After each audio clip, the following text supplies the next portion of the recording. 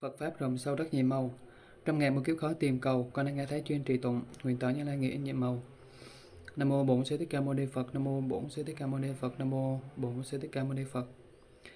Kinh Phật Tạng quyển 2, phẩm 5, Tịnh giới phần 2. Lại nữa, này sẽ Đại Phất, tỳ kheo phá giới nghe Phật thuyết giảng các kinh như thế, tâm không thanh tịnh để hoan hỷ, tương tưởng vui thích, tự có lỗi nên nghi ngờ kinh này về chúng ta mà giảng nói không phải về những người khác. Vì sao? Vì tỳ kheo chúng ta có những sự việc ấy. này Xá Lợi Phất, Pháp thượng diệu không thể so sánh như vậy, thì kheo phá giới lại xin giận dữ. Đối với người giảng nói Pháp tâm phần nhiều không tin, được nghe Đức Phật giảng dạy như thế thì chống đối không lãnh thọ là nói như vậy. Đây chẳng phải là Phật nói để giáo hóa mà là người khác nói. Vì sao? Vì tỳ kheo phá giới không ưa thích tu đạo, do tỳ kheo tu đạo không trái lời Phật dạy. Đây đều là pháp ác ngu si phá giới, vì tâm không tin nên làm trái với lời Phật giảng dạy. Tỳ kheo như thế tự biết có lỗi, nhưng sinh giận dữ kiêu mạng bướng bỉnh, tâm tà mạng xấu ác phỉ bán Phật Pháp Tăng. Này xá lợi Phất, do tỳ kheo ấy nghe các kinh điển chống trái không tin, nên tâm không thấu tỏ về, về nẻo bồ đề vô thượng, chỉ dạy cho mọi người, chẳng phải là lời Phật giảng nói. Này xá lợi Phất, Phật nói người ấy là hủy bán chánh pháp, do hủy bán giáo pháp, cho nên không phải là sa môn, chẳng phải là con cái của dòng họ thích, nên trừ bỏ các tỳ kheo ấy, nếu trăm ngàn vạn ức chư Phật xuất hiện, phá diệt mọi mọi hoạt nghiệp hiện có của chúng sinh, cũng không thể làm cho kẻ xấu ác kia giác ngộ đạt được đạo quả. Vì sau này sẽ lợi Phất? Kẻ ác như vậy ở trong giáo pháp tự làm chướng ngại cho đạo, lại không sống với đạo. Không có tính tâm, chỉ ưa thích y phục, cách thức ăn uống, ham thích lợi dưỡng ở đời. Ta nói người này nhất định sẽ đọa vào được địa ngục. Này sẽ lợi Phất Như Lai, đây sẽ giảng nói, giảng rõ cho ông biết. Người nào chống trái pháp báo như thế thì đối với nơi chốn thọ sinh tốt đẹp vĩnh viễn không hề có. Chỉ sinh vào chốn xấu ác luôn bị mù lòa không có mắt. Này sẽ lợi Phất cái tỳ kheo xấu ác, kia bạn đầy dạy ấy không thể khẳng định là đã phá diệu pháp của Như Lai. Còn những người khác thì do không thể tự nuôi sống, vì lợi dưỡng nên theo phá diệu giáo pháp của ta. Này sẽ lợi Phất, pháp báu như vậy bây giờ bị hoại diệt, vì sao? Vì pháp bảo ấy luôn được tất cả chư Phật tại đầu cung kính, các bác chư Phật A-la-hán cũng đều cung kính. Tỳ kheo phá giới, người tăng thượng mạng nhất định không giảng nói về pháp này. Các tỳ kheo như thế, lúc ấy khinh thường giáo pháp của ta, lại còn xa lìa, phần nhập ôm lòng tham lam chuyên cầu sự sống. Chủ nơi tài sản lợi lộc bị gắn kết trói buộc, luôn thích tranh cãi, cùng sinh hiềm khích không chịu kính thuận, không có oai nghi, tâm ý không buông lung như đàn khỉ vượng, thay hình đổi, thay đổi hình tướng tạo các nghiệp ác. Đã bí pháp của sa môn sa lì hiền thánh. Này sẽ lợi phất người ác như thế che đậy lỗi lầm phần nhiều tham cầu tiền của để nuôi sống thân mình. Mà ác biết được tâm ấy nên dùng làm phương tiện khiến kẻ kia luôn tạo sự chống trái đều cùng hủy hoại chánh pháp. Một vị tăng bảo phân làm năm phần đã có năm phần thì sinh tranh chấp, cùng nhau bàn nói về làm lỗi thị phi đủ loại. Này sẽ lợi Phất, như tỳ kheo hiện nay cùng nhau giáo hóa, cùng nhau cung kính, đồng tâm cùng hành thuận theo lời dạy của Phật. Bây giờ các tỳ kheo không cùng giáo hóa, không cùng cung kính, thế kẻ tạo ác thì lo sợ bỏ đi, không thể dùng giáo pháp để chỉ dạy hướng dẫn. Hoặc lúc tuy có người học rộng hiểu sâu, lại ôm lòng kêu mạn khinh chê người khác. Do đó đều dùng chỗ hiểu biết của mình để tự lập, tự chuyển. Gặp nhau còn không vui, huống hồ là có thể tỏ nhận lời dạy của Phật. Này Xá Lợi Phất, Như Lai ở đời thì Tam Bảo là cùng một vị, sau khi ta diệt độ thì chia làm năm phần. Này Xá Lợi Phất, ngày nay ma ác vẫn còn ẩn thân, trợ giúp điều đạt phá hoại pháp tăng của ta. Vì Như Lai là bậc đại trí, còn ở đời nên mà ác không thể tạo thành được việc ác lớn. Vào đời vị lai, mà ác sẽ biến thân làm hình tướng sa môn, nhập vào trong tăng chúng và nói vô số việc tà, khiến nhiều chúng sinh bị lôi cuốn vào nẻo tà kiến. Vì họ mà giảng nói các pháp tà, đó là Di Lâu, Đà La, Ca Lâu, với các sự việc như tranh chấp dữ dội, năm bộ phận chia sẻ nhau, cho là niệm niệm diệt, cho là tất cả đều có, cho là có ngã, có chỗ thủ đắc. Lúc ấy ma ác dạng nói các sự việc tham chấp tà phải như thế. Các sự việc như vậy chẳng phải là chỗ neo giảng của Phật và chúng đệ tử. Khi ấy người ác kia bị ma ác mê hoặc đều chấp vào chỗ kiến giải, cho mình là đúng, kẻ kia là sai. Nay xá lợi Phất, Như Lai đã dự kiến trong đời vị lai có những sự việc phá hoại chánh pháp như vậy, nên giảng nói cơn sâu xa này, nhằm để đoạn trừ các sự chấp trước của ma ác. Nay xứ lợi Phất, và lúc ấy trong cõi diêm phù đề, phần nhiều là người tăng thượng mạng, làm được chút ít thiện tự tiện cho là đắc đạo, sau khi mạng chung bị đọa vào cõi ác. Vì sao? Vì người ấy ở trong sinh tử tự cho mình đắc đạo là cũng khen ngợi, nói người khác là đắc đạo, mạo nhận là thánh nhân để được sự cúng dường. Người này đối với chư thiên, người nơi thế gian chính là giặc ác lớn. Người ngu như vậy nghe nói về đệ nhất nghĩa thì bất nghi, nghi ngờ sợ hãi, như rơi vào hầm sâu. Này sẽ lại phất, có các tỳ kheo ưa thích sự việc ấy, cùng nhau tụ tập phá hoại giải pháp giác ngộ vô thượng của Phật. Lúc này người tăng thường mạng chấp trước càng nhiều, mà ác lại làm mê hoặc tâm của người tại gia và xuất gia, khiến họ hành theo phi pháp. Người giảng nói chánh pháp ít được giúp đỡ, hỗ trợ, nên liền bị tan hoại, khó được tồn tại. Này xá lợi Phất, bây giờ trong thế gian, các tỳ kheo trẻ tuổi hầu hết đều là hàng lợi căn. Vì sao? Và những người xuất gia, do phiền não còn sót lại đã sinh trở lại trong cả người. Liền được xuất gia các tỳ kheo ấy ưa thích nêu vấn nạn tìm cầu Phật Pháp theo thật nghĩa đệ nhất. Này xá lợi Phất, khi ấy những kẻ tăng thượng mạng bị ma mê hoặc chỉ cầu cho mạng sống thật là hàng phàm phu tự xưng là a la hán ở nơi chỗ các tỳ kheo trẻ tuổi kia cùng nói làm tốt nơi thân khẩu ý đấy là thật nghĩa đệ nhất của Phật pháp khéo giữ gìn giới tịnh độc tụng kinh pháp xin năng tu tập thì biết sâu rộng đó gọi là nhân duyên của thuận nhẫn tức là tâm thanh tịnh tinh Phật, là có thật nghĩa đệ nhất. Ông nên buộc tâm nơi duyên, chuyên niệm về Niết Bàn để diệt trừ ba thứ khổ, có thể nhàm chán, sanh lìa năm ấm. 12 nhập 18 giới các ông nên ở nơi vắng lặng, quán xét các pháp ấm giới nhập thể đều là vô thường, tự quán về thân nơi vô số thứ bất tịnh. Các ông có thể quán xét như thế thì sẽ đạt được quả tu đà hoàng, là có thể đối với pháp năm ấm này, quán xét sâu xa đều là vô thường, khổ không vô ngã, không có bền chắc, tức đạt được quả tư đa hàm. Là quán xét sâu xa, dần dần đạt được quả a la hàm, đến quả a la hán, đó là thật nghĩa đệ nhất. Cái tỳ kheo trẻ tuổi lại hỏi, ở trong giáo pháp của Phật, đạt được quả vị a la hán là đệ nhất nghĩa chăng? Chúng tôi cũng biết việc ấy đạt được quả vị a la hán là đệ nhất nghĩa. Này, năm ấm này là do nhớ nghĩ phát sinh hay không phải do nhớ nghĩ phát sinh? Đáp, năm ấm này là do nhớ nghĩ phát sinh, không có nhớ nghĩ thì không thể phát sinh. Hỏi nhớ nghĩ và năm ấm khác nhau như thế nào? Đáp, như năm ấm, nhớ nghĩ cũng như vậy. Hỏi, nếu như năm ấm, nhớ nghĩ cũng vậy, thì ai là nhớ nghĩ năm ấm? Đáp, nếu không nhớ nghĩ năm ấm thì không có Niết Bàn, tức thật có nhớ nghĩ năm ấm, cho nên có tu tập tám chánh đạo mới hội nhập vào Niết Bàn. Này Sở Lợi Phất, trong đời vị lai có nhiều tỳ kheo thành tựu được Pháp nhận ấy. Này Sở Lợi Phất, bây giờ trong Pháp hội, có nhiều thiên chúng muốn nghe giảng nói về Pháp thật nghĩa đệ nhất của Phật. Người tăng thượng mạng nghe nói như thế, tâm sinh nghi ngờ. Do rơi vào vực sâu, đều kinh ngạc nói với nhau. Hôm nay giải pháp của Đức Phật Thích Ca Mâu Ni sắp diệt tận mau chóng. Này xá Lợi Phất, trong ấy có các tỳ kheo thành tựu căn lành đối với các tỳ kheo ngu si, người tăng thượng mạng hoàn toàn già nua kia. Nếu chấp có tướng của năm ấm, tướng của 12 nhập, 18 giới thì không chấp nhận lời nói này, nên không vui, không thích, bên từ chỗ ngồi đứng dậy bỏ đi.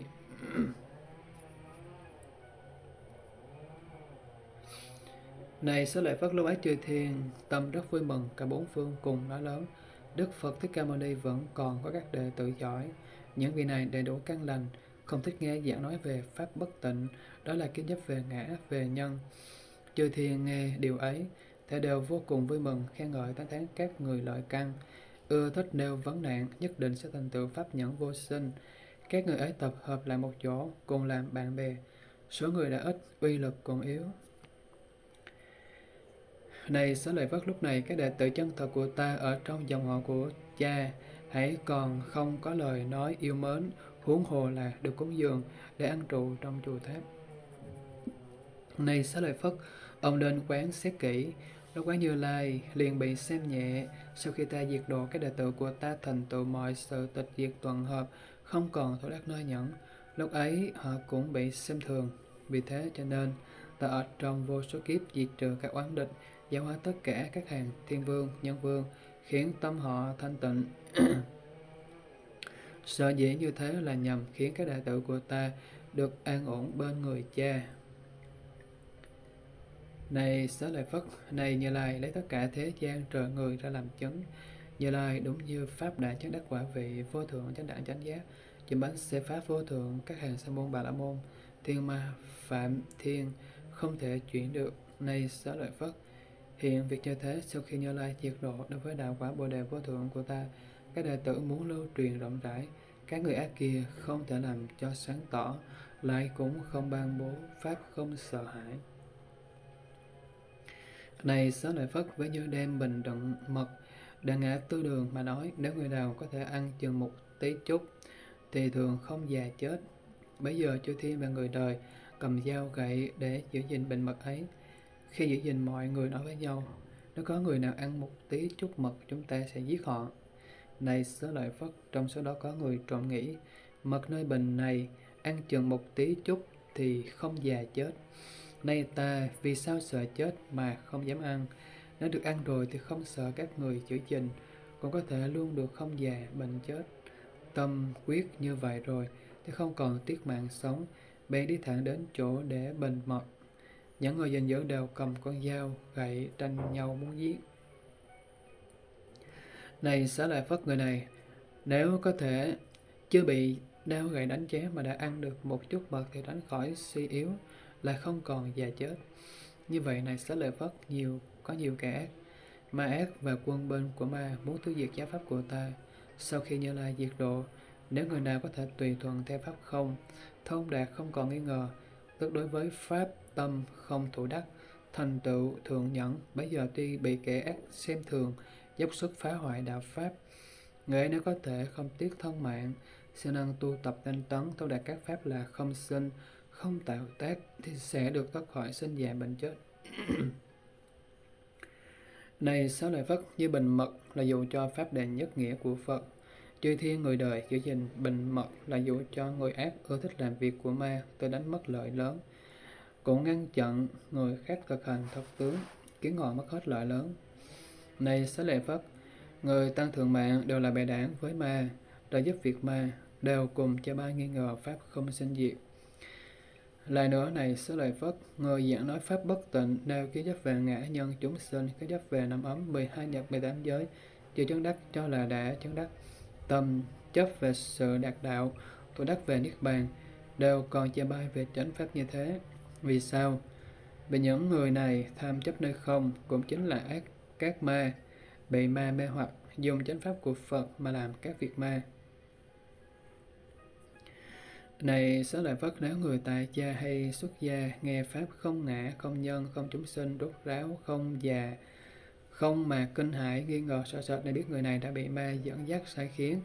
Như tỳ kheo chỉ có hình tướng này, chính là kẻ trộm phá chánh Pháp hủy hoại, oai nghi.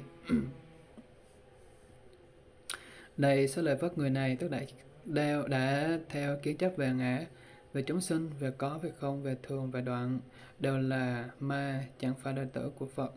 Vì sao? Vì trong kênh Như Lai đã nói, đã giảng nói, tất cả thế gian đều là không, không có ngã và ngã sở, không có nhân, không có chúng sinh, không thường, không đoạn, không pháp nào là không bị hủy hoại. Người ác như thế cũng đều đọc tụng kinh ấy, giả nói cho người khác nhân tâm tham chấp về ngã về nhân. Người ngu như vậy gọi là tạo nhân đau khổ, gọi là phản phúc bất thường, để nhằm gây tranh chấp nhiễu loạn, phá hoại tăng chúng, gây nhiễm ô cho đạo Pháp là chỗ đục cặn trong hàng sa môn, là sự xấu xa ô uế, gọi là chỉ có ngôn từ gọi là sa môn dối trá là sự bần cùng trong hàng sa môn là kẻ phải gánh vác nặng nhọc là kẻ khi dối chư Phật là kẻ phạm tội ngũ nghịch. Này sẽ lại phát ngữ gọi là loại giặc đài ác nghịch gọi là tri thức ác gọi là kẻ phá giới là tà kiến là ngoại đạo là kẻ hành công thật là bạn ác gọi là loài quỷ sát hại gọi là kẻ bệnh hoạn thối tha gọi là lửa dữ thiêu đốt gọi là kẻ vô nịnh gọi là kẻ rơi vào chỗ tối tâm là kẻ đi vào rừng rậm là kẻ bị cuốn theo dòng sinh tử gọi là cùng tạo ra người ác gọi là địa ngục gọi là súc sinh ngạ quỷ atula gọi là kẻ không đi vào đạo gọi là kẻ lừa dối là kẻ tự khen mình là kẻ làm nghề xem tướng là kẻ là tiếng kêu to chát chúa là kẻ nhân nơi lợi cầu lợi gọi là kẻ làm cho xấu nhà người khác là kẻ luôn đùa giỡn là kẻ tâm tán loạn là kẻ bị tham lam giết hại gọi là kẻ sân hận giết hại gọi là kẻ bị ngu si giết hại là kẻ diện mạo tốt mà dối gạt là sự suy não là kẻ không giải thoát là kẻ bị phiền não trói buộc là gọi là kẻ chẳng phải sa môn chỉ là sa môn hình tướng là hạng sa môn chiên đà la sa môn thối tha sa môn cặn bã gọi là kẻ khó đầy đủ là kẻ khó nuôi dưỡng là kẻ phá hoại oai nghi là kẻ không biết hổ thẹn là kẻ bị chặt đứt đầu là người hủy hoại thân thể là kẻ buộc ca sa vào cổ là kẻ tự vào chốn tối tâm là kẻ nhiều tham dục là kẻ nhiều giận dữ là kẻ nhiều ngu si là kẻ bị năm thứ phiền não trói buộc, che lấp. Là kẻ bị chìm ngập, là kẻ hư giả, là kẻ rỗng không, là kẻ si ám. Này xá lợi phất, thế nào gọi là rỗng không? Thoái thất đối với chư phật, đối với tướng của bậc hiền thánh nên gọi là rỗng không. Dứt mất tất cả công đức của bậc sa môn và pháp của sa môn, nên gọi là rỗng không. Thế nào gọi là hư giả? Ở ngoài, giáo pháp của bậc thánh gọi là hư giả sẽ liền các pháp không vô tướng, vô nguyện gọi là hư giả. Này xá lợi phất, người ác như vậy có thể khiến cho ma vui mừng, tham chấp sâu dày nơi pháp hư vọng để đối với hàng phàm phu đã có đầy đủ tướng của kẻ tội ác, không giống với người đạt được pháp nhẫn, đã được các pháp của bậc sa môn và công đức của sa môn nên trăm ngàn ức phần vẫn không đạt được một phần. Này xá lợi phất do đó gọi là kẻ rộng không, là kẻ hư giả. Song vì tham chấp sâu dày về lời dưỡng của thế gian, chẳng phải sa môn mà tự xưng là sa môn. Không đáng được cúng dường mà thọ nhận sự cúng dường. Đó chính là giặc cướp dựng cờ. Cùng giặc cướp, đó là kẻ giặc giết hại mọi người. Kẻ ấy nơi thức ăn nuôi sống của mình đều là những thứ không thanh tịnh. Chỉ có người hướng đến đạo quả, chứ đắc đạo quả mới có thể thọ nhận hết sự cúng dường. Không phải như kẻ ấy cho nên gọi kẻ xấu ác kia là kẻ căn đồ ăn đồ bất tịnh. Này số lợi bất do đó gọi là kẻ rỗng không là kẻ hư giả.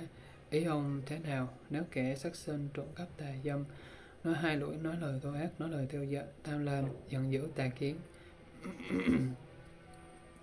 Kẻ ấy luôn sát sinh mà chẳng thường cướp đoạt mạng sống chăng? Bạch Thế Tôn không, người tại gia sát sinh, không đoạt mạng sống, thời gian sát sinh thì ít, thời gian không sát sinh thì nhiều. Này số lợi Phất ý ông thế nào? Người, nếu người trộm cắp, thời gian trộm cắp là nhiều, hay thời gian không trộm cắp nhiều? Bạch Thế Tôn, thời gian không trộm cắp nhiều. Này sở lợi Phất ý ông thế nào? Nếu người tài dâm thì thời gian tài dâm nhiều, hay thời gian không tà dâm nhiều. Bạch thế tôn, thời gian không tà dâm nhiều. Thời gian nói hai lưỡi, nói lời theo giận, nói lời thô ác. Tham lam, giận dữ là nhiều. Hay thời gian không giận dữ nhiều. Bạch thế tôn, thời gian không giận dữ nhiều. Này, xá lợi phất trong mười đạo bất thiện ấy, tội gì là nặng? Bạch thế tôn, trong mười đạo bất thiện, tà kiến là tội nặng. Vì sao bạch thế tôn tà kiến là tâm luôn cấu ế luôn chấp trước? Tâm không thanh tịnh. Này Xá Lợi Phất, Na Như Lai nói với ông, nếu có người trong một ngày giết hại trăm ngàn vạn ức chúng sinh, một ngày trộm cắp trăm ngàn thứ vật báu như vàng bạc, người ta dám ngày đêm không dừng, người nói dối, luôn lừa gạt mọi người. Người nghiệp miệng không thanh tịnh, không nói một lời chân thật, người nói hai lưỡi luôn phá sự hòa hợp, cùng giúp người gây chia rẽ, thường ác khẩu, biện thường, ác nghịch, thậm chí không nói một lời nào du hòa. Người nói lời theo dệt, không có cội gốc, nơi sự việc của người đời, dùng vô lượng lời nói tạp loạn khác, người tham lam đối với vật của người khác, sinh tâm phi pháp, người giận dữ, không có duyên cớ mà cứ giấy khởi đổ thứ sân hận, người tà kiến thì ưa thích làm trái đạo. Này, sẽ lại Phất ý không thế nào? Nếu người nào đã tạo đủ các pháp bất thiện như vậy, gọi là là tội nặng không? Bạch Thế Tôn rất nặng.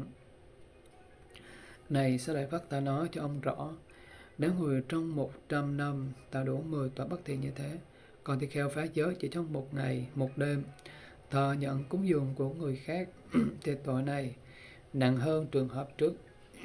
Vì sao? Vì người sát sinh kia, nhiều người đã biết, nhiều người đã rõ điều xấu ác của người ấy. Ai cũng nhận biết người ấy đã giết hại, cướp đoạt mạng sống. Còn tội của người uế trượt là làm cấu nhiễm, là người không thiện, không có đức mà người xa lìa. Lại nữa này sẽ lại vắt người sát sinh cướp đoạt nhiều mạng sống của người khác hoặc sinh tâm nhàm chán tự biết là sai trái phải chịu tội báo còn mọi người đều biết kẻ xấu ác kia không có giới đức uế trượt đối với người ấy không thể cầu mong công đức. Thậm chí tách sờ lông ra thành trăm phần, cũng không được một phần, huống chi gọi là ruộng phước được cúng dường. Lại nói này xá lợi phất người tạo tội sát sinh ấy đối với gia đình vợ con của họ, cũng như mọi người đều biết nó không cùng cung kính, hãy còn không mờ ngồi huống hồ là cúng dường. Người sát sinh ấy lấy tài sản để tự nuôi sống và nuôi dưỡng vợ con, hoặc có lúc cúng dường các sa môn, bà la môn. Nhà nghiệp báo này mà gặp được thánh hiền, gặp các tỳ kheo tỳ kheo ni giảng nói đạo pháp, chỉ dạy việc xa lìa sự giết hại xa bỏ nghiệp giết hại. Nên ở trong Phật pháp được xuất gia, không bị chướng ngại, được xuất gia rồi, gần gũi thiện tri thức đạt quả đạt được quả vị sa môn. Ngài này ở đời hiện tại thọ nhận tội báo nhẹ, không làm chướng ngại thánh đạo, tránh khỏi rơi vào ba đường ác này xá lợi Phất ở trong Phật Pháp có các tỳ kheo, Chẳng phải là sa môn, mà nói là sa môn, Chẳng phải là phạm hạnh, tôi nói là phạm hạnh. Đoạn dứt các căn lành, Làm cản trở sự tu tập đạt tới Niết Bàn, Mê hoặc làm mất thánh đạo, Phá bỏ nhân duyên của đạo, Phá bỏ các pháp lành, thực hành việc của ngoại đạo, đi vào đường ác với nhiều giặc ác. Tôi có thọ mạng nhưng cả đời luống uổng như người chết hình sắc tiều tụy khốn khổ, mất hết oai nghi ở trong pháp Phật gọi là cấu nhiễm gọi là giặc của các chánh pháp gọi là kẻ chống đối gọi là kẻ bị mai ma sai khiến giống như đi bên hố xí cũng như thay chó chết chỉ như hình tướng sa môn đồng mặt pháp phục sa môn nhưng không hành theo pháp của sa môn. Này xá lợi Phất, bây giờ trồn hoang ở nơi đám sư tử, cũng như hạng huỳnh môn ở trong chúng chuyển luân thánh vương, cũng như đám khỉ vượng ở chỗ chư thiên, cũng lại như con lừa ở trong đám voi chúa, cũng như người mù ở nơi chúng đạt được tiếng nhãn, cũng như con dơi ở trong đám kim xí điểu. nay xá lợi Phất, tỳ kheo phá chế ở trong đại chúng của ta, khiến trăm ngàn và ức các chúng chư thiên, thấy tỳ kheo ấy có mặt nơi đại chúng, thì đều rất buồn khổ nói như vậy. Người ác như thế sẽ có thể tham dự Bố Tát, đó là bè đảng của ma với ma. Bốn lãnh hội đạo Phật vô thượng nên hướng về hàng tại gia để nghe giảng nói. Là còn các hoàng rồng quỷ thần, tên ưa Phật Pháp cũng lớn tiếng quát mắng tỳ kheo sáu ác ấy, làm sao lại ở chỗ này để ẩn giấu thân mình. Giống như con ngựa sáu ở trong đám ngựa đã được điều phục tốt, Người ngu si như vậy tự cho là không ai thấy biết về mình làm ác. tự ẩn giấu ở đây là lừa dối cả hàng trời người, cũng là giặc trong tất cả hàng trời người, là chúng cùng thấy rồi càng cho trách. Này sáu lợi vất tỳ kheo tạo tội ác như vậy, nên bị chư thiên nhận biết là giặc ác. Hàng cư sĩ cũng vậy, thế mà thọ nhận sự cúng dường, ngưỡng mộ lễ bái chấp tay cung kính, người ngu si đó giống như thay chết, Y phục đang mặc đều là trộm cắp mà có, đồ ăn trong bát đều là trộm lấy, không ai gần gũi, thậm chí một ít nước uống cũng đều là trộm cắp mà được. Này sẽ lại vất tỳ kheo phá giới đi đến phương nào hoặc đến phương Đông, phương Tây, phương Nam, Bắc đều là trộm đất mà đi. Vì sao? Vì người ấy với các pháp hành oai nghi hiếm có đều là trộm cắp, đều là giả làm kẻ trộm. Mọi sự đi đứng, nằm ngồi, tới lui, nhìn ngắm, co duỗi của ngựa, y cầm bát đều là như thế. Nay chuyện được nói về thân nghiệp, khẩu nghiệp và ý nghiệp. Nếu có chỗ tạo tác hành động đều là giặc trộm cắp. do có cạo tóc cho người ấy cũng là cạo tóc cho họ. Thì kheo phá giới với mọi thứ tạo tác đều là giặc tạo ra. Này sẽ lợi phát tỳ kheo sau ác thầm tệ ấy cho đến các cái việc như đại, tiểu tiện, rửa tay đều là pháp của giặc. Vì sao này sẽ lợi phát trong cõi diêm phù đề đều có các quốc vương, các đại thần, vô số dân chốn hiện có và những quyến thuộc phi nhân thì tỳ kheo ác này ở đây chính là giặc cướp. Này sẽ lợi Phất nếu các vua đại thần đối với giặc ác đã không trông mong đến công đức, không nói là bằng mình, không nói là hơn mình, thì tỳ kheo phải giới kia mặc pháp phục của bậc thánh, đối với người ấy làm sao mong cầu có được công đức. Cho nên, nếu chấp thuận được ở lại cõi nước nhưng nếu biết là kẻ xấu ác thì thậm chí nhổ nước bọt trên đất cũng không cho. Vì thế này sẽ lợi phất thì kheo xấu ác. Mọi tạo tác nơi thân đều là việc làm của giặc, gọi là giặc thường xuyên, giặc lớn. Dựng cờ theo giặc làm hại tất cả mọi người trong thế gian vì sao? Vì không có việc ác nào mà kẻ ấy không làm. Cho nên này sẽ lợi phất tỳ kheo tệ ác ấy. Đối với tất cả chư thiên người nơi thế gian gọi là giặc lớn. Này sẽ lợi phất nếu người nào đã bị tất cả hàng trời người nơi thế gian gọi là giặc lớn, thì người ấy có thể tỏ nhận tất cả những thức ăn uống chăng và theo tôn không thể. Này xá lợi phất ý ông thế nào? Người ấy chẳng phải là người đại ác chăng? Và theo tôn đúng vậy. Này xá lợi phất tỳ kheo phá giới đối với tất cả chư thiên và mọi người ở thế gian là kẻ có tội ác lớn do ý nghĩa đó nên ta nói kệ. Thà ngậm đá lửa, nuốt uống bể đồng dẫn dùng không giới ăn của tinh thí. Này số lời vất tỳ kheo phá giới ấy không có hình sắc, không có đức, không có chí nguyện. Thân tâm nóng độc luôn thấy mộng ác. Không ưa thích ở một mình, hoặc có lúc ở một mình, hoặc có khi đi một mình thân thì run rẩy, sợ hãi. Thấy người giữa giới thanh tịnh thì vội ẩn giấu lẫn tránh tâm tánh từ hổ thẹn, không thích muốn gặp ai. Khi thọ nhận sự cúng dường thì nghi ngờ, sợ hãi. Ý thường dông rủi, tán loạn, luôn có nhiều nhớ nghĩ. Tham đắm của cải, lợi dưỡng, ưa thích đồ ăn ngon. Thì kheo như vậy khi mạng chung chắc chắn bị đọa vào địa ngục. Này số lời Phật đó? Gọi là tỳ kheo phá giới, bị sự khổ não thứ bảy tức bị đọa vào quả ác lời nữa này sẽ lại bất tỳ kheo phá giới? Ưa ở chỗ ồn ào, nhiều lời, luôn tán loạn, ưa, ý ưa, thích ganh ghét. Cùng làm bạn với kẻ phá giới thường thích bàn luận và việc phá giới xấu ác. Do bị ưa thích nên không biết hộ thẹn, trong đối kinh điển, thâm chịu, tâm nghi ngờ, không tin. Hoặc có nghe giảng nói các kinh như vậy thì nghi ngờ chống đối. Tranh cãi, không thích nghe để lãnh hội nhìn ngó khắp nơi, tâm không chuyên nhất, lấy tay bưng miệng ngước nhìn hư không. Từ chỗ ngồi đứng dậy khi bán giáo pháp của phật, ôm tâm sân giận che mắng người tuyết giảng giáo pháp. Do các nhân duyên xấu ác tội lỗi như vậy nên sau khi mạng chung nhất định bị đọa vào địa ngục. Này số lợi phật đó gọi là tỳ kheo phá giới, phải bị sự sầu não, khổ sở thứ tám chắc chắn rơi vào cõi ác là nữa này sẽ lời phật tỳ kheo phá giới chỉ thích tôn trọng các hòa thượng Asale, lê. Bàn tán công đức của chư vị ấy là để cầu danh lợi nên xưng là người trì giới. Do để nuôi sống bản thân làm việc như vậy làm việc nương cậy nhờ phá tùy tiện khéo léo luồn cuối không biết xấu hổ. Giống như loài quả đen tạo nhân duyên của hàng tăng sĩ là để có được nhiều y phục ăn uống đầy đủ thân lực được khỏe mạnh. Không biết hổ thẹn nói năng không có thứ lớp tay chân thô tháo, diện mạo ngơ ngác. Ưa thích nhìn người nữ, không cần người nam. Người ác như vậy luôn bị mọi người khinh rẻ. Có chống trời, rồng, quỷ thần đều không xưng tán cho đến chư Phật cũng không khen ngợi. Kẻ ấy, tâm tánh nóng nảy luôn ưa, giận dữ, chúng ta đều từ bỏ, không gì trợ giúp. Đã có uy lực này sẽ đại phật, thì khao phá giới như vậy, phần nhiều ở trong chúng tăng tìm kiếm để có uy lực.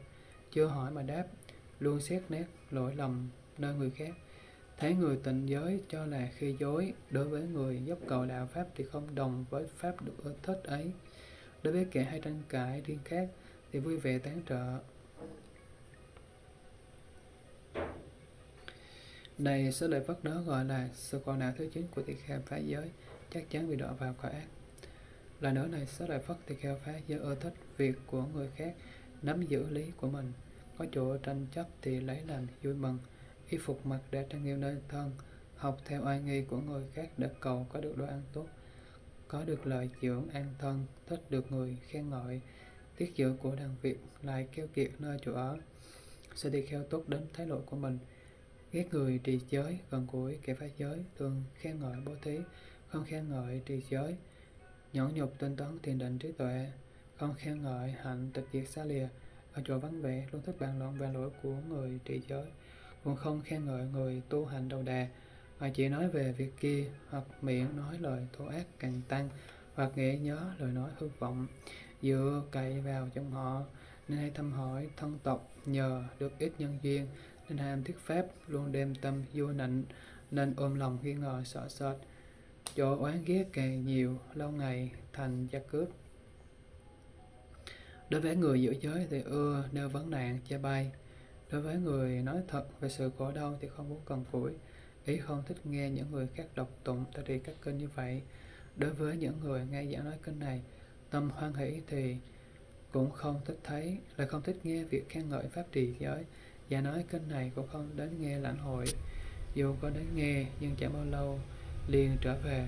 Phần nhiều cùng với hàng tại gia cách làm tri thức, luôn thích bàn nói về tỳ kheo giữ giới, chỉ được tự ý coi thường càng làm các việc thô bạo, xấu ác.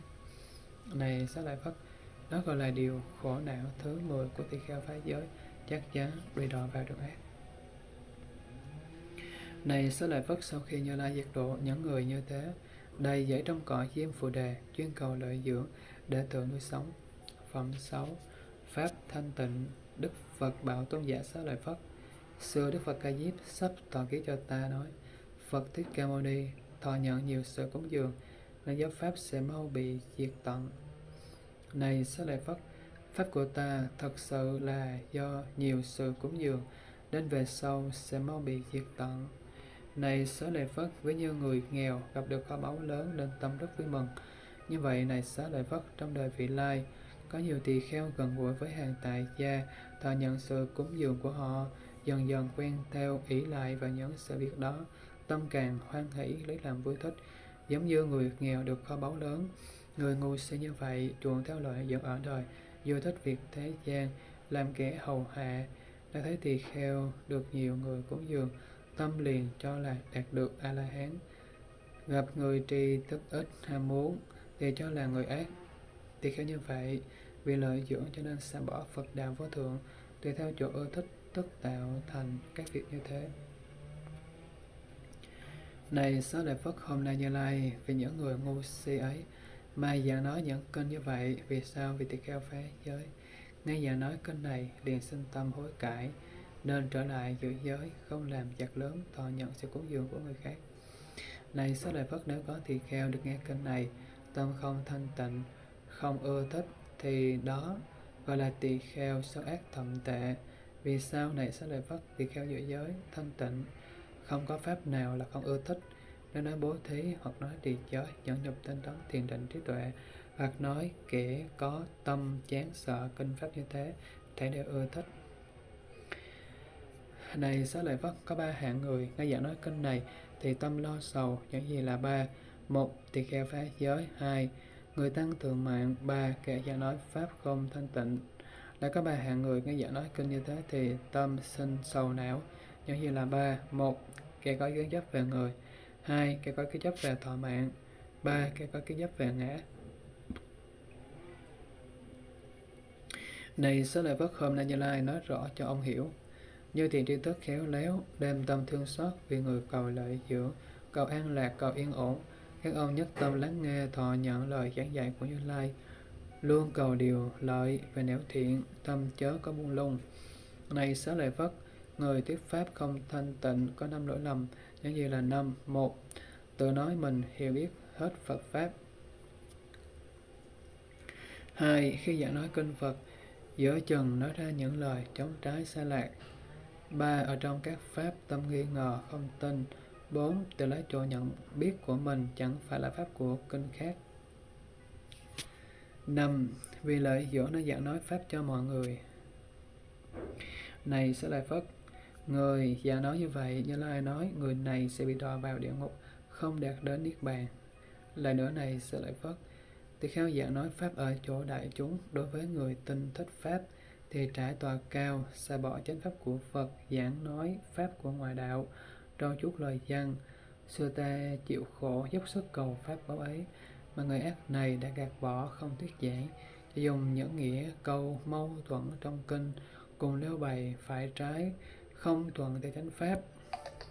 Ở trong pháp của bậc thánh, tâm cao ngạo, tự đại, tuế, giảng giải, nói thì cầu lợi dưỡng này sẽ đại phất, nói thì kheo giảng nói pháp, xen tạp ý nghĩa của ngoại đạo, lại có tỳ kheo thiện xin năng cầu đạo pháp, thì vị ấy nên từ chỗ ngồi bỏ đi. Vì sao?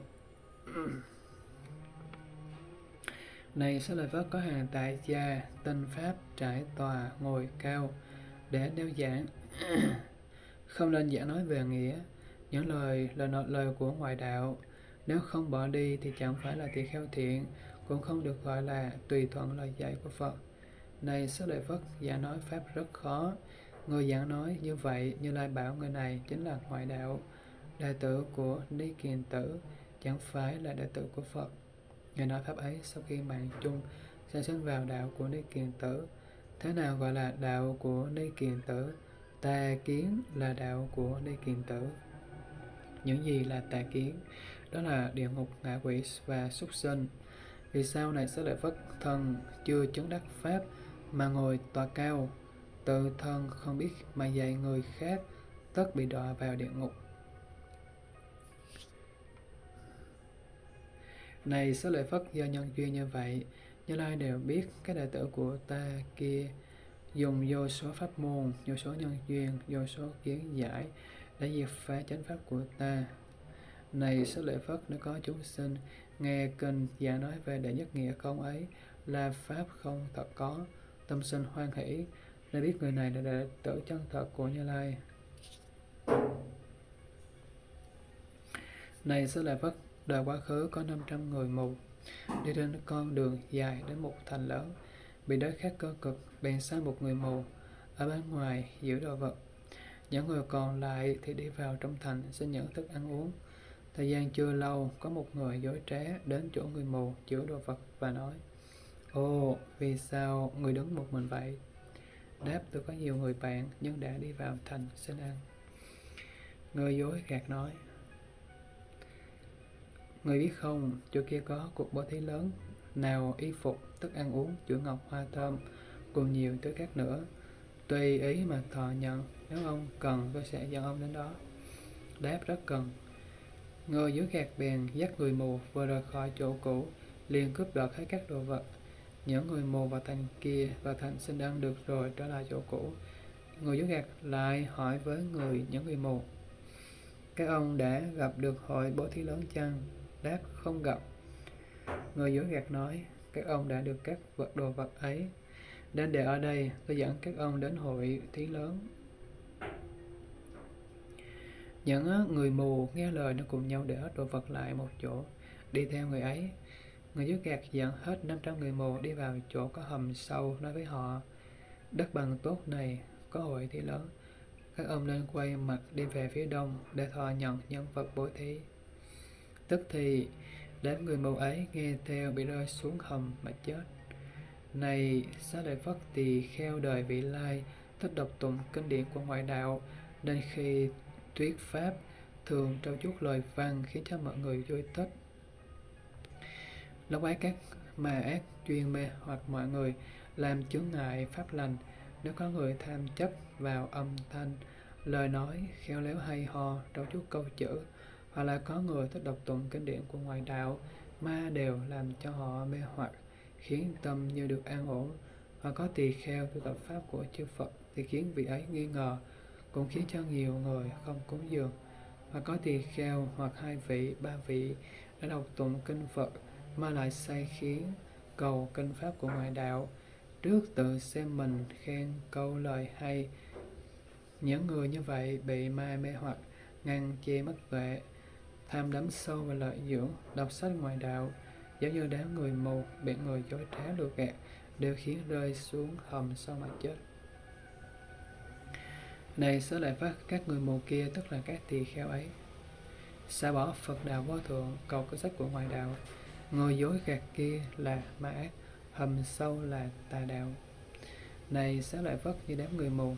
Xa bỏ Phật đã có được vô đến hội có thí lớn mà bị rơi vào hầm sâu các đệ tử của ta cũng là như thế. Bỏ cơm áo tầm thường chạy theo hội lớn, hội bố thí lớn, là mong cầu sự cúng dường nhiều tốt. Vì tham lợi ở đời nên mất trí tuệ lớn. Vì rơi vào hầm sâu là địa ngục a tỳ. Lại nữa này sẽ lại phất. Người không thanh tịnh và nói chánh pháp, không biết nghĩa lý, phương tiện của như lai, tự mình không hiểu biết đầy đủ mà chỉ dạy người khác.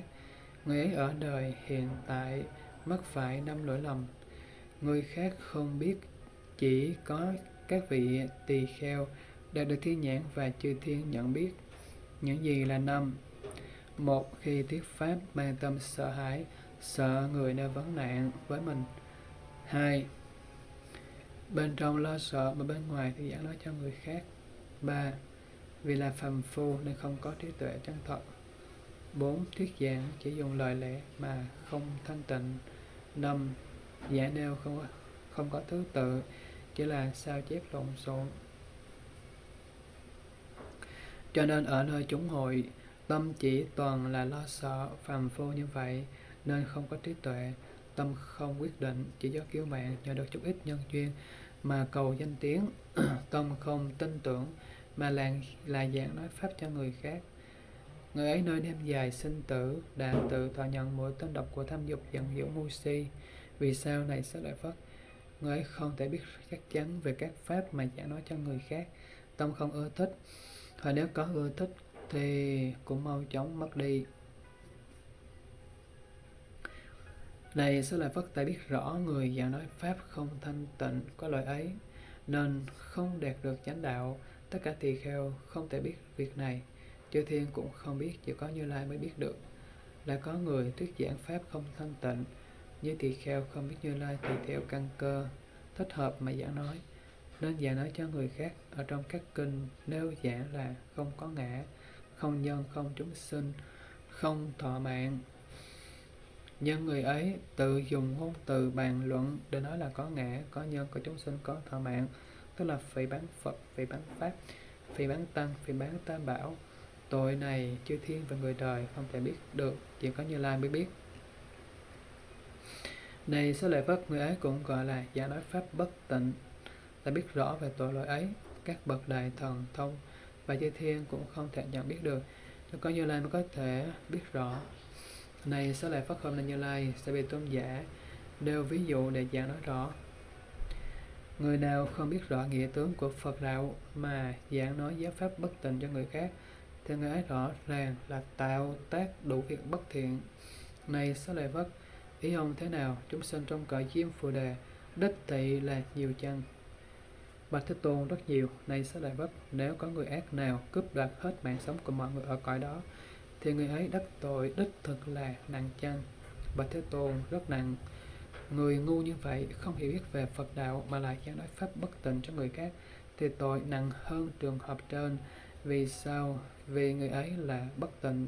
Mà nếu giảng pháp là phá hoại đạo phật vô thượng cũng là hủy bán chư phật ở quá khứ hiện tại ba vị lai vì sao này sát lợi phất nếu có chư phật thời quá khứ và nói tất cả các pháp đều rút ráo là không không có ngã, không có nhân, không có chúng sinh, không có tuổi thọ, không có mạng sống. Này sát lợi Phất, chư Phật đời vị lai, thuyết giảng tất cả các pháp cũng rút ráo là không, không có ngã, không có nhân, không có chúng sinh, không có tuổi thọ, không có mạng sống. Này xá lợi Phất chứng Phật hiện tại nơi hàng hà xa số thế giới trong mười phương và nói tất cả các pháp cũng rốt ráo là không, không có ngã, không có nhân, không có chúng sinh, không có tuổi thọ, không có mạng sống. Này sẽ lợi bất đó gọi là giáo pháp vô thượng của chư Phật, nghĩa là tất cả các pháp không có thể tánh, cũng không thể thủ đắc nên là không. vì bản tánh vắng lặng không sinh không diệt không có tánh tướng vì tự tướng là không như la chỉ vì nhằm đoạn dứt các cái sự nhớ tưởng, phân biệt. Cho nên đại giảng nói những cái sự giác ngộ của Đức Phật là không có phân biệt. Này sẽ lợi Phật thế nào là phân biệt? Gọi là phân biệt tức là các cái chấp về ngã nhân, chúng sinh tuổi thọ, mạng sống. Cái chấp về thường đoạn, hàng phàm phu đã tạo nên các cái phân biệt như thế. Nếu người không có phân biệt như vậy thì có thể hiểu rõ về tất cả pháp.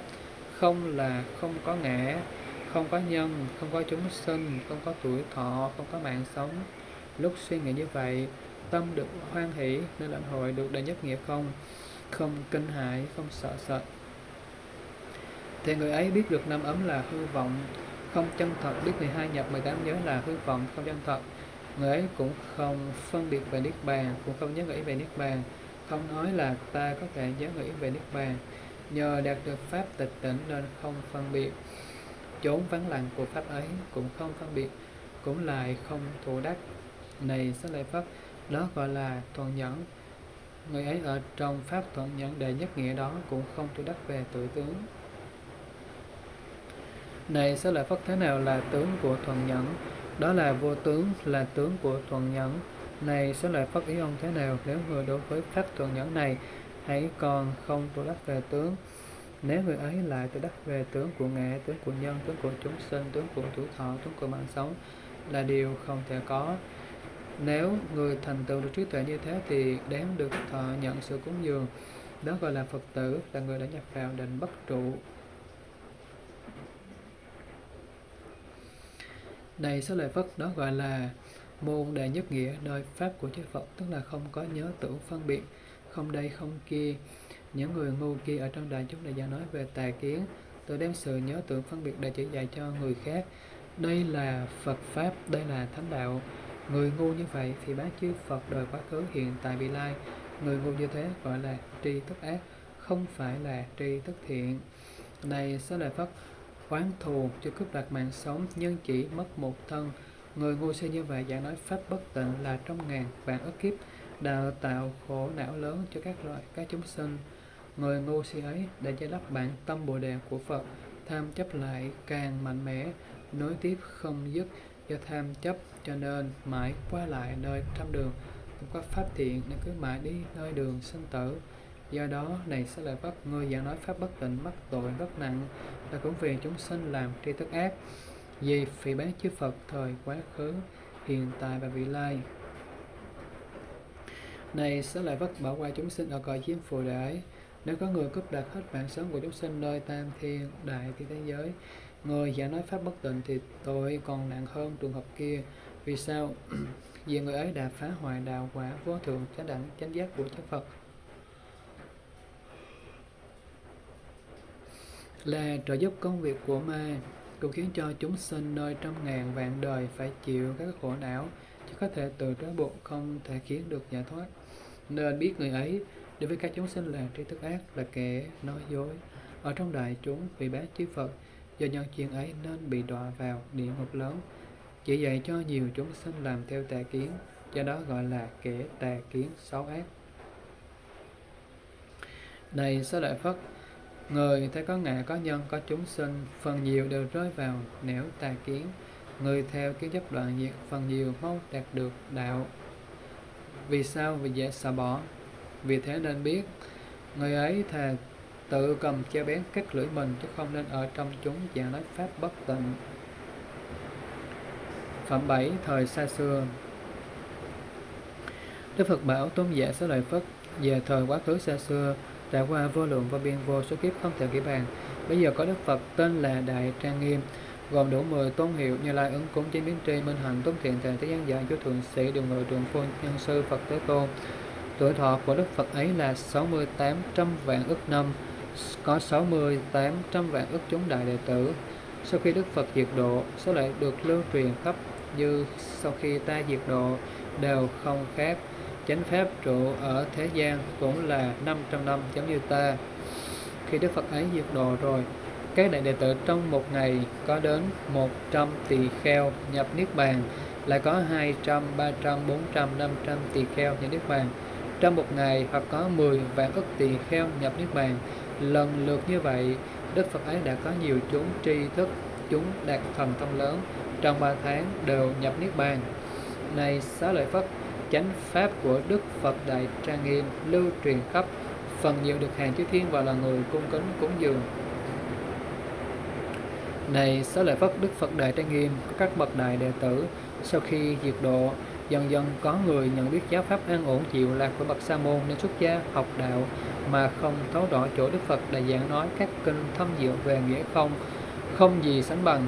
Do phần nhiều bị ma ác mê hoặc khi giảng nói giáo pháp, tâm dao động không quyết định, nên giảng nói chẳng thanh tịnh.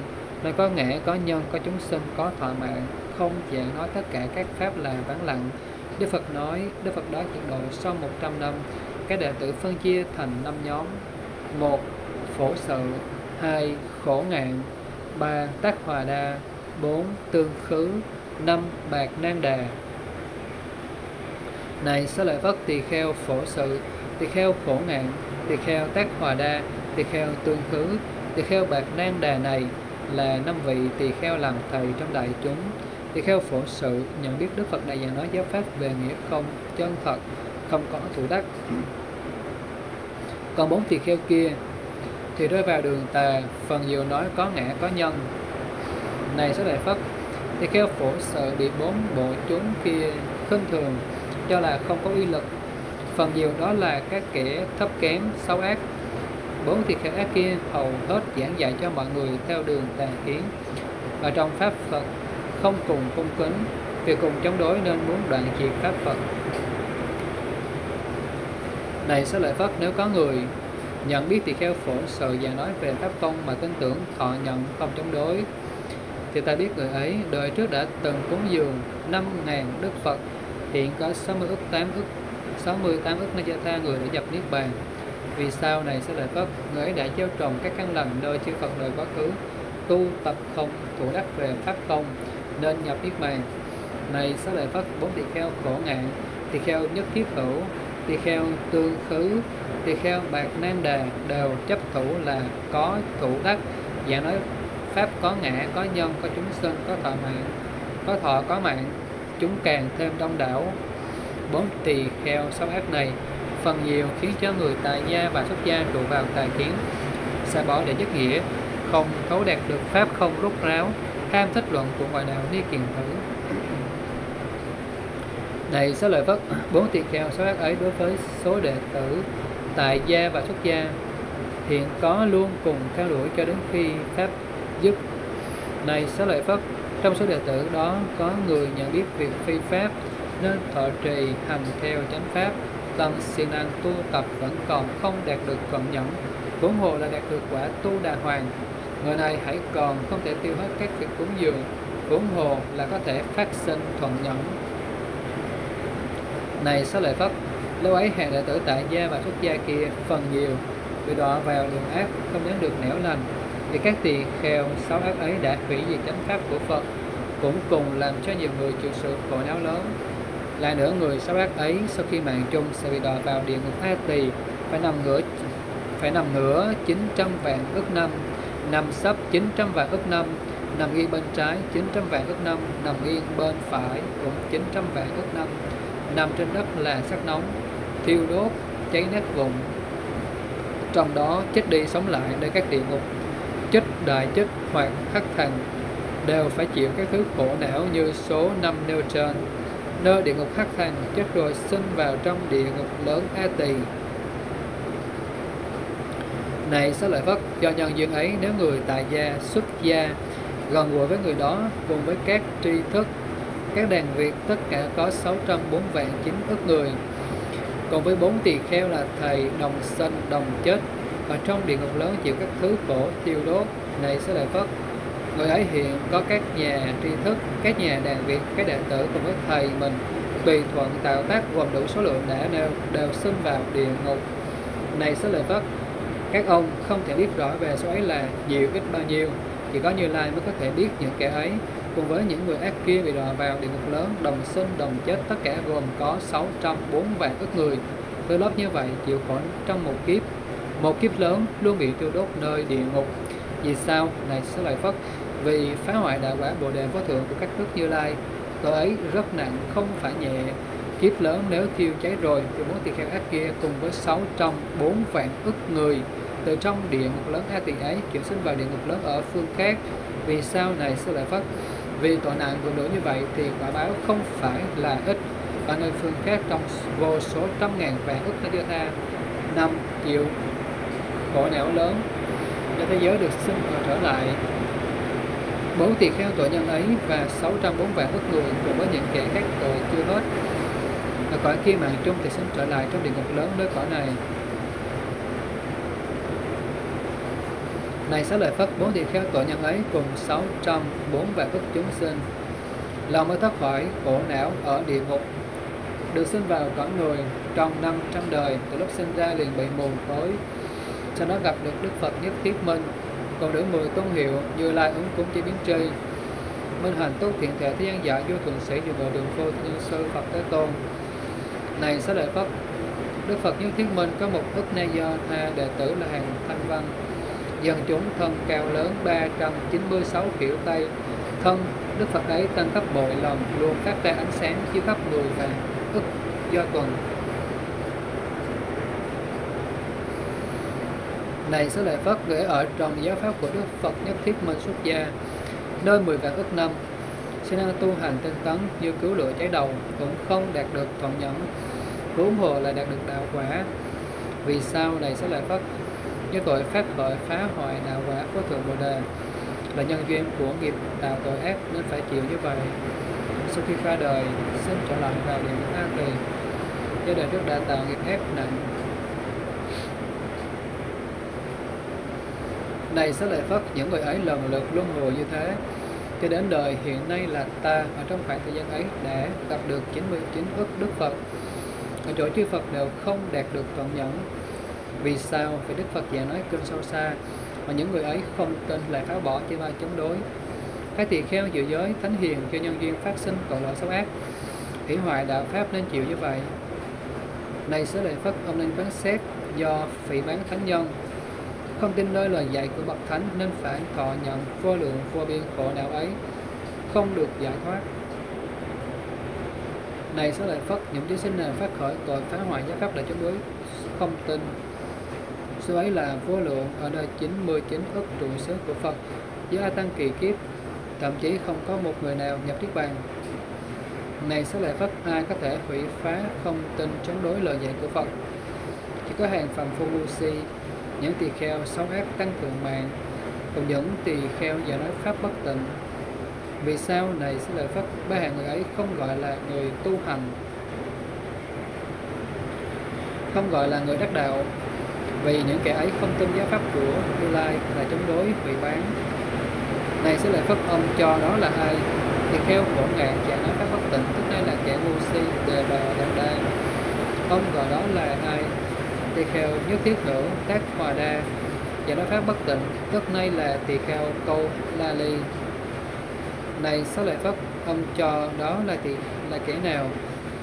Tỳ kheo tương khứ và nói pháp bất tịnh nay tức là tỳ kheo ca tỳ la. Ông gọi đó là ai? Tỳ kheo bạc năng đà. Và nói pháp bất tịnh nay tức là sa môn, lã hình, bà lợi, ma đà. Này sẽ lời phất, ông cho vị tỳ kheo thời ấy thuyết giảng pháp thanh tịnh như thật và đạo quả bồ đề của chư Phật. Làm lợi ích cho vô lượng chúng sinh nay tức là phú lâu na di đà la ni tử. Là thuyết giảng pháp thanh tịnh các vị theo học đã được gặp 5.000 Đức Phật. Có 68 ức na gia tha, người đều đã diệt độ. Này sẽ lời Phật, nếu người nói lời chân thật thì thế nào là đúng? Pháp sư tối thượng biết rõ về nghĩa lý của giáo pháp là người chẳng nói pháp thanh tịnh thì phải nói là phú lâu na di đà la đi tử. Này sẽ lời phất phú lâu na. Do tâm định chắc chắn hiểu rõ nên chỗ thuyết giảng không khó khăn không còn chỗ nghi ngờ để phát sinh bàn luận. Này sẽ lại phất nếu người giảng nói pháp thật, thì điều gì là thật? Tức là pháp sư của tất cả nhân duyên, nên nói là phú lâu na. Này sẽ lại phất phú lâu na, nhiều đời thọ sinh, luôn vì chúng sinh mà làm Phật sự ở trong giáo pháp của 99 chư Phật.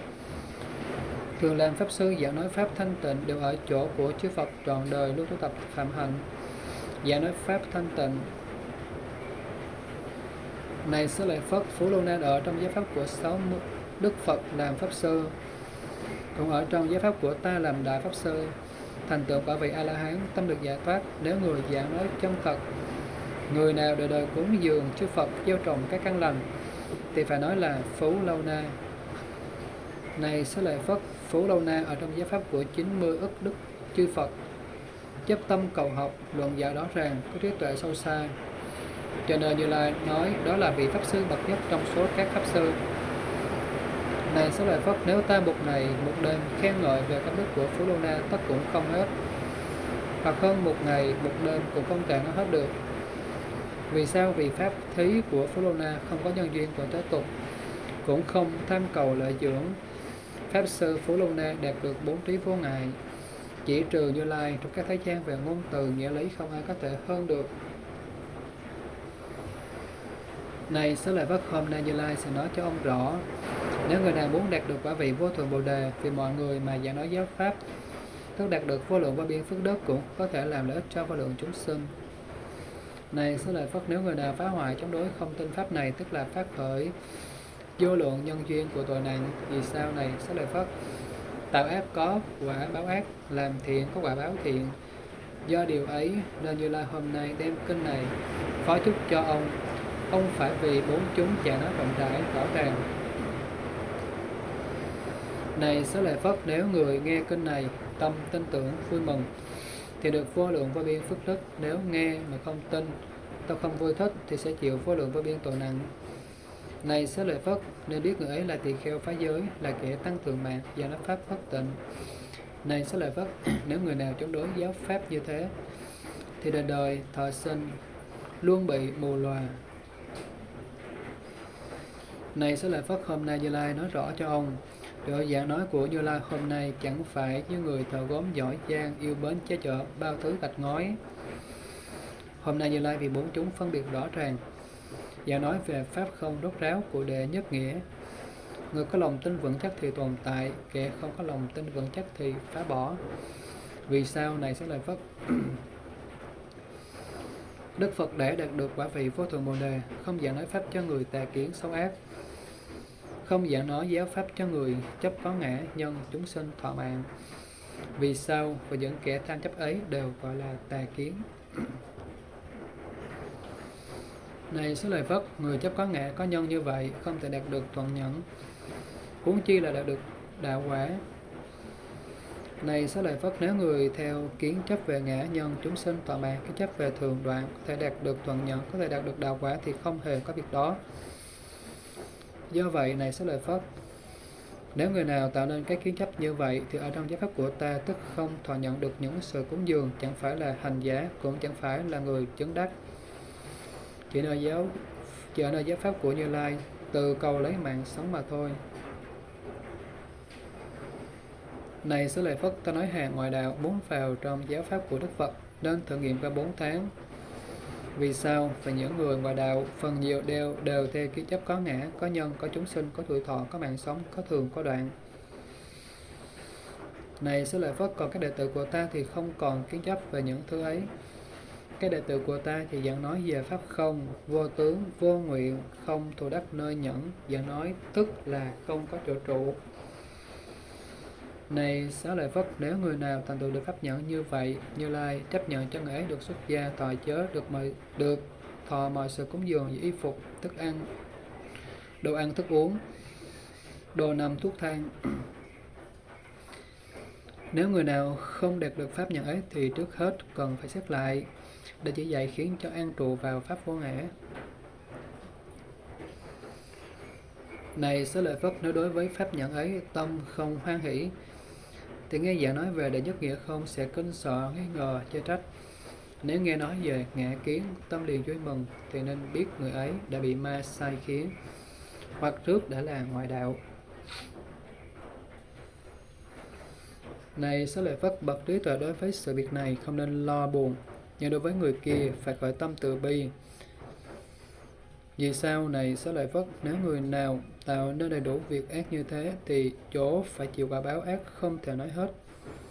Do đó đối với người ấy phải sinh tâm làm lợi ích chỉ dạy các pháp vô ngã, các pháp vắng lặng, các pháp không tạo tác, không có thọ nhận. Nếu người ấy ưa thích giáo pháp của Phật, nghe được các việc này, tâm liền vui vẻ. Ngoài ra các việc kheo hành không, không thủ đắc, đều nên chỉ dạy làm cho tâm họ đạt được lợi ích an ổn vui vẻ. Rồi thì họ giảng nói giáo pháp không, không thực có. Nếu họ nghe mà còn kính sợ thì ở nên ở trong đại chúng thưa các vị hòa thượng A Lê như trong kinh nói về hành giả theo hành theo không là có thể biết rõ tướng sai biệt của các pháp dùng ta làm thầy không cùng với các kiến chấp về ngã nhân các thứ tà kiến điên đảo tham chấp nơi người giữa giới làm thầy. Như lai, chấp nhận cho người có đầy đủ chánh kiến được cùng bố tát, không chấp nhận những người tài kiến phá giới, phá nghi cùng bố tát.